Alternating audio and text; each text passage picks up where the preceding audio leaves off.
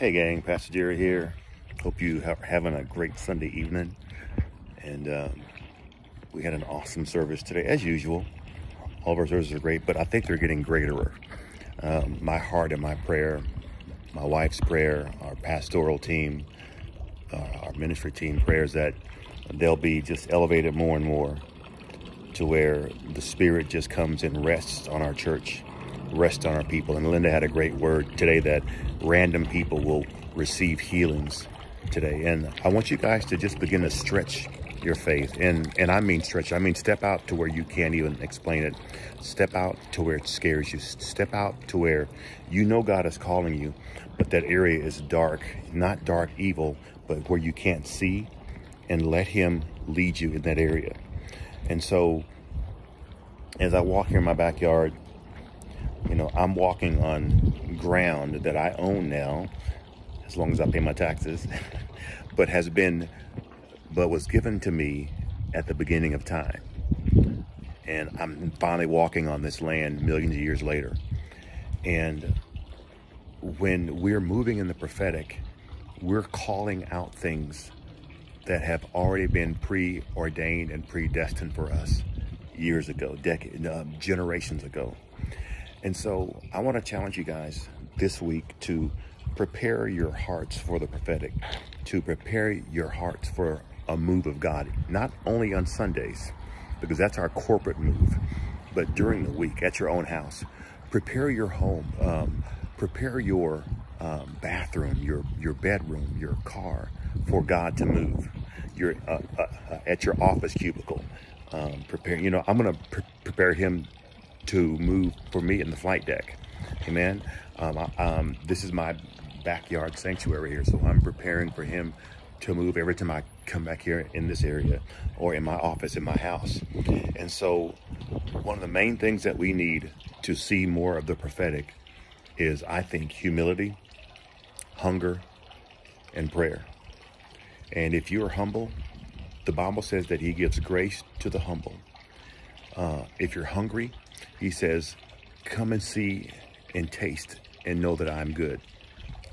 And then if you are in prayer, you're always drawing yourself to the center of God's will. And so over this next week, and I'll know it on Sunday, I want to challenge you guys to really, that's my fountain, uh, to really begin to press in and pray, stay humble, stay hungry, and watch God move in your life, not just on Sunday. Sunday is the evidence of what you've been doing all week long.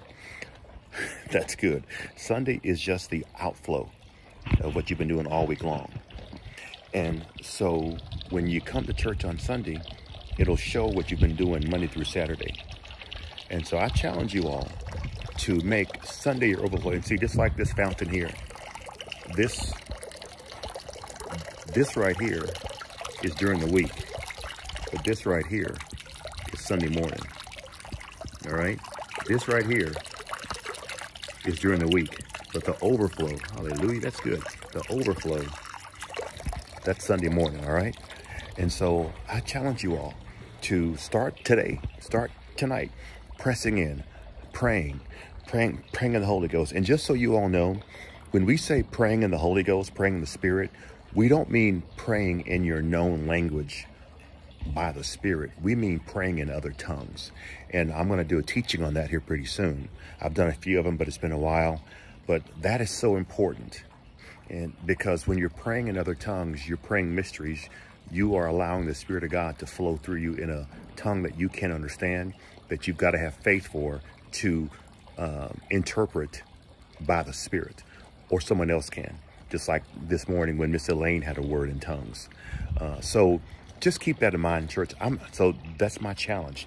Read your verses this week. I think it's Leviticus 26. I think I had it at um, verses 1 through 13, and just keep pressing in more in the spirit realm. And and I challenge you guys, and I know that'll happen because you will begin to see things you haven't seen. Uh, you'll see the unbelievable, and as long as you're standing on the word with the one who makes the unbelievable seen. Amen. All right.